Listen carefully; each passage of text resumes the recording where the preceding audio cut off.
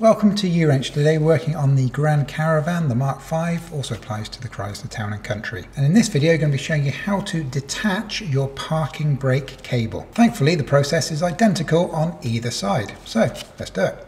So the way that it works, you can see the handbrake cable coming up here and it actually passes through this uh, metal arm here that's attached onto the back of our caliper. And the cable itself passes through the uh, brace centre of this and it's got a little hole in the end and, it, and there's a hook here that passes through that hole. And on this little uh, bracket here, a couple of things to note is where this passes through, this actually has a, a plastic tab, like a compression tab, uh, top and bottom, that need to be compressed to get it through the hole. And also there is a little slot uh, just in the front there, which is thick enough for this white section uh, to pass through. The way that it works, we've got the end of our handbrake cable just here. You see there's a hook that passes through the end of our cable. And this is a little arm here that's attached onto the back of the caliper. As you can see, we have this spring on the opposite side. And what happens is when you press the parking brake, this whole arm will move in this direction. So the uh, spring here will actually stretch. And then when you release the parking brake, the spring that's now in detention will pull this arm back down. So the position that we can see at the moment, this is with the parking brake not applied. Now by far the easiest way to detach our handbrake cable is actually to get rid of the spring. Because whilst that spring is there, we're always going to be fighting against it. And once we have this spring out of the way, then this uh, arm here will be able to move. And that's going to give you the space that you need to be able to get this handbrake cable detached. So let's focus on the spring. So to remove this spring, what you want to do is grab yourself a large flathead screwdriver. And you'll find that where this uh, hooks on, there'll be an end of the spring. Mine's on the uh, rear here, unfortunately. It's usually easier if it's on the front. And if it's on the front, you can put this under the uh, edge of it. You can just force it up quite easily and unhook it. Coming from the back, it's a little bit harder, so we'll show it to you using the uh, harder of the two options, but the principle's the same. And make sure you're wearing eye protection when you're doing this, just in case this decides to spring off. So as mine's on the back, it's a little bit tricky. Uh, as I said, I would normally, if it's on the front, I'd do it like this. I don't really want to be uh, pointing this tool towards me.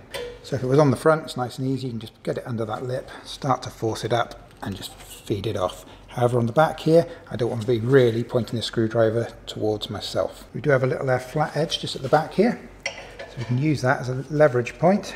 So I can put this just under the uh, edge of that uh, spring there and use this flat edge at the back as a point to lever from.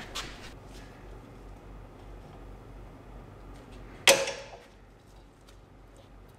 there we go, simple as that. So, so all I did there is I kind of came up underneath it a little bit like that get just under the edge, twisted it up inside it as much as I could, and then used the leverage, came up the screwdriver, and just came off of the front. So that is now detached. Now in theory, if your caliper is nice and healthy, this little arm here, you should be able to push this over by hand. Unfortunately, you see our caliper is not in great shape, and this certainly isn't going to be moving by hand. So option number two, if yours a little bit seized up like ours is, is you can uh, press the uh, parking brake down and use the cable to pull the arm across. Remember it won't have the spring attached so it will come straight to, to the uh, full position in this direction. So as we can see in our particular case we have the worst case scenario. As I mentioned right at the start you should literally be able to move this with your hand if you have a healthy caliper. But ours isn't moving even when we apply that parking brake. So the last thing we can try and do is try and get it manually moving uh, using a hammer and our flathead screwdriver.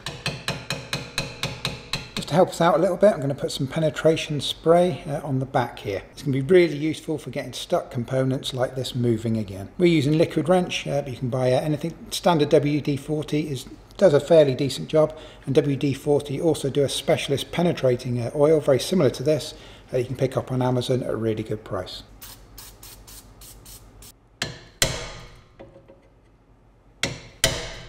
You see I've managed to uh, get some of the air pressure off of this cable now. And a quick tip for you if you are working on the parking brake cables. This is on the underside of the vehicle and we're on the driver's side and we're about uh, approximately about three feet from the rear wheels, the rear wheels in that direction. If you have a look underneath, you can see this arrangement here. And this is the main cable. This goes up into the vehicle, it's attached to the pedal, passes through a bracket here, single cable, goes into this little uh, bracket, which then changes it into two cables. And the top cable, that's the uh, driver's side one, and the bottom one, that's the passenger side. As you can see in our example, the uh, passenger side is completely loose here. Yours won't be, yours won't be at an angle, yours will be straight. The reason for this is we're actually doing some work on the uh, parking brake cable on that side, but ignore that, it won't affect anything that you're doing. And then our two cables pass along here into another bracket and then go off onto the calipers. And if you're struggling to get that parking brake unhooked, what you can do is you can help by creating a little bit more space just here. So you can actually pull this cable in this way a little bit. And of course, by doing that, likewise, these cables go in that direction. That's going to give you that little bit of extra space. This step is entirely optional and you only need to do this if you're struggling to get it off. So what you can do, it's a little bit awkward, uh, like I said, especially for us as we don't have this one attached. What you want to do is grab a clamp you want to clamp between this point here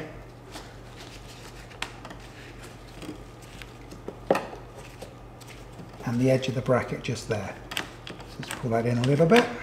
I'll do the same with the other one at the top here. You can see we've now exposed a little bit of the cable, so we've pulled the cable in this direction, and you can also see we've got a bit of a, a bit of slack in our cable now. And sometimes this little trick can be exactly what's needed just to get that little bit of extra space to unhook it on the caliper. So now we've got plenty of uh, movement on our cable here.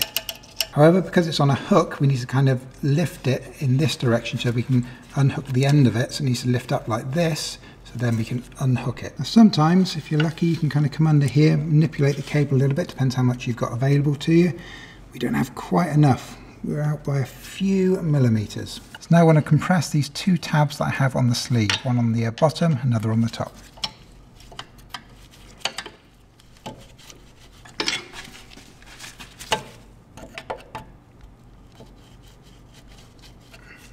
And I'm going to use this as a leverage point here. I'm just going to push that backwards.